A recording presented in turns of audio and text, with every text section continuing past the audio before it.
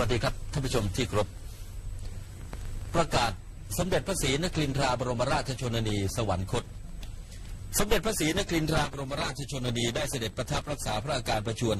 ณตึก 84 ปีโรงพยาบาลศิริราช ตั้งแต่วันที่ 2 มิถุนายน 2538 ตามที่สำนักพระราชวังได้แถลงให้ทราบเป็นระยะแล้วนั้น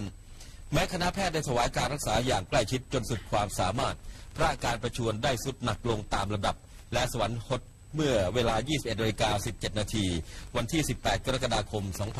2538 รวมพระชนมายุ 94 พรรษา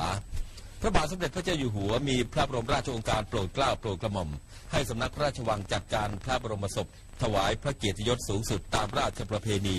ประดิษฐานพระบรมศพณพระที่นั่งดุสิตมหาปราสาทในพระบรมมหาราชวัง ทรงพระกรุณาโปรดเกล้าโปรดกระหม่อมให้พระบรมวงศานุวงศ์และข้าทูลอองธุลีพระบาท ในราชสำนักไว้ทุกถวายมีกำหนดร้อยวัน ตั้งแต่วันสวรรคตเป็นต้นไป